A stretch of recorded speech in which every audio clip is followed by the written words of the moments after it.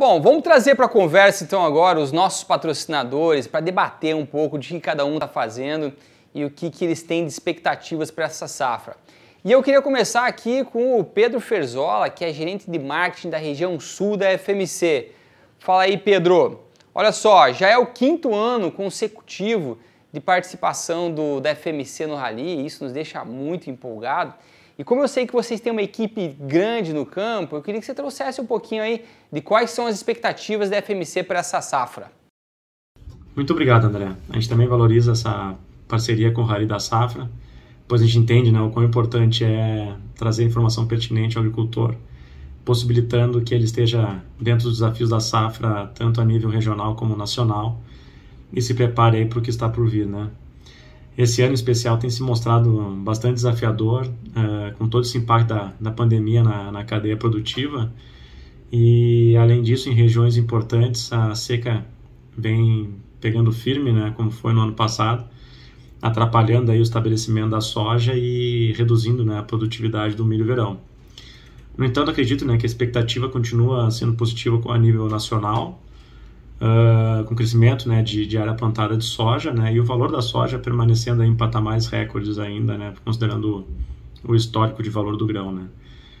Por isso acredito né, que é fundamental o produtor se antecipar no seu planejamento né, e tendo em vista né, que até pelo menos metade final do ano que vem a cadeia de insumos deve seguir apertada e com a adoção aí de novos manejos, né, como tem acontecido esse ano, né, principalmente em plantas daninhas, a gente tem que estar tá atento né, às corretas épocas de aplicação dos produtos. Né.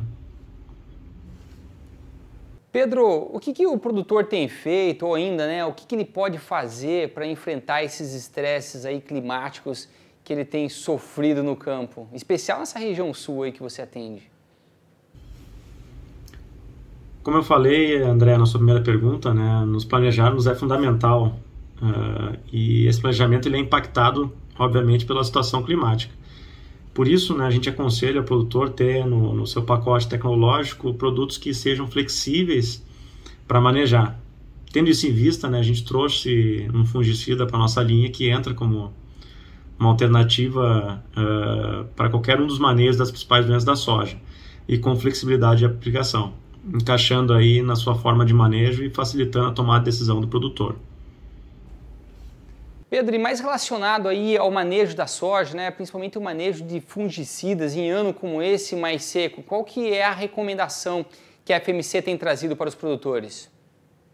Essa é uma pergunta bastante pertinente ao cenário atual a gente vê que a seca ela impactou principalmente aí o estabelecimento inicial da, da cultura da soja e por isso né, a gente tem recomendado nos nossos parceiros a adoção da nossa linha de produtos bioestimulantes.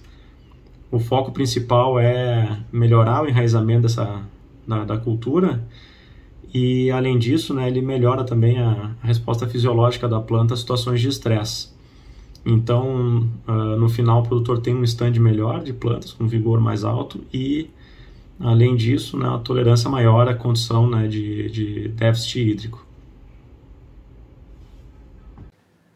Pedro, obrigado aí pela sua participação, obrigado FMC uma parceria de mais um ano do Rally da Safra.